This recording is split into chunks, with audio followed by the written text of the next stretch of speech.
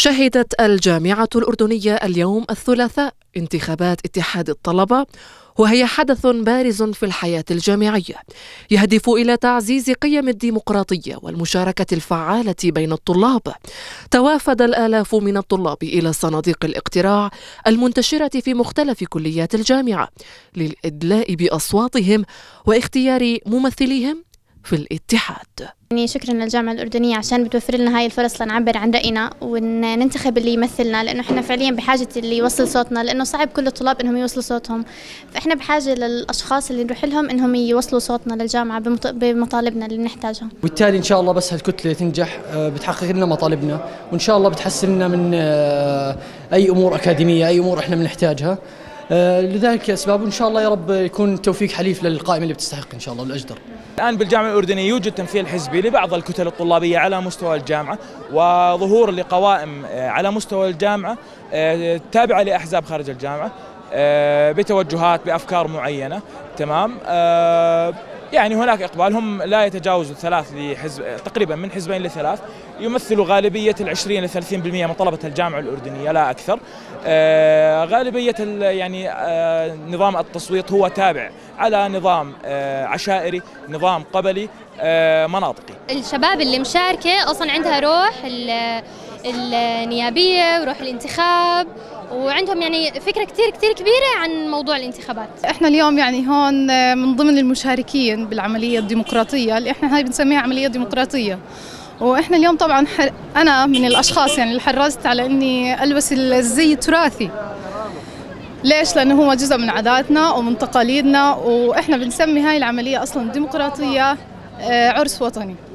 الأحزاب السياسيه أكيد دورها فعال كبير جدا وأغلب المقاعد بالجامعة الأردنية تكون راح تكون احزاب لأنه الاحزاب فعلت ادوارها بالمجتمع الأردني. صحيح. والله في إقبال على الانتخابات وانتخابات نزيهة والمرشحين ما شاء الله عليهم.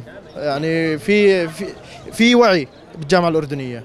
آه لأنه صوتنا مهم ويأثر فعلا على المستوى الجامعي. من تنطي صوتك لشخص يستاهل لقائمة تستاهل إنها تحدث فرق يعني قرارات الجامعة وقرارات اللي تساعد الطلبة. أول شيء لأنه ابن عشيرتي وما صوتت لابن عشيرتي إلا وهو قد المسؤولية وقد هاي أمانة لأنه الصوت أمانة. وما أعطت إياه إلا وأنا عارفة إني حطيت صوتي بمكان مناسب. العرس الانتخابي هون في الجامعة الأردنية. وطبعا في منافسة جدا قوية في كلية اللغات الأجنبية. بس طبعا في ألفة وبنرجع بنحكي إنه كلنا في اختلاف بس ما بأدي للخلاف. شو بده يسوي لي يعني جاي أقرأ وأخذ شهادة وأروح. يعني شو بده يسوي لي؟ يزيد لي علامات ولا بده ينجحني ولا شو بده يسوي لي؟ من الصبح يعني هو كان في ضغط شوي بس كنا طبعا يعني بانتظام والاداريين ساعدوا كثير بتنظيم الطلاب وبإدخالهم وبخروجهم. والايقاع كانت يعني منتظمة اللجنة ما قصرت بشغلها. وكان ضغط الصبح بس بعد الساعة 12 أمورنا يعني هديت وصار يعني عملية الاقتراع أهدى شوي. هدفنا الرئيسي هو الطالب.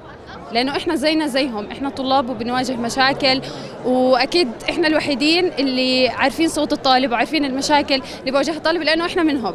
رئيس الجامعة الأردنية الدكتور نذير عبيدات قال فخورون بالروح الديمقراطية وأن الانتخابات هي فرصة لطلابنا لممارسة حقوقهم الديمقراطية والمساهمة في صنع القرار. فاليوم يعني يكون هذا العرس الديمقراطي وانتخابات اتحاد الطلبة في الجامعة الأردنية تتويج لهذه التغييرات المهمة اللي حدثت ضمن خط التحديث السياسي واللي بعتقد أنه رمت بظلالها على ما يتم اليوم بالجامعة الأردنية. فكما شاهدتم وتشاهدون هذا التنافس الأخوي وال مليء بالمحبة بين طلبتنا حيث ترى يعني الأخوين ينتخبان كل من آه، يعني من يرى مناسبا دون دون عصبية إن شاء الله يعني إلى حد كبير. فأعتقد أنه اليوم بنشوف آه، عملية ديمقراطية وعملية انتخابية جميلة آه، تجعل من الجامعة الأردنية أكثر جمالا. هي جميلة بدون بدون هذا العرس لكنها اليوم بالتأكيد تزيد ألقا وجمالا وإن شاء الله دائما الجامعة الأردنية تحقق كل الإنجازات واليوم هو إنجاز مهم وإنجاز ضروري في طريق التحديث السياسي. تعد هذه الانتخابات خطوة هامة نحو ترسيخ قيم الديمقراطية في الجامعة الأردنية، حيث توفر للطلاب فرصة للتعبير عن آرائهم والمساهمة في صنع القرار، وهي تجربة تعليمية تعزز من وعيهم السياسي والاجتماعي وتنمي روح المشاركة والمسؤولية لديهم.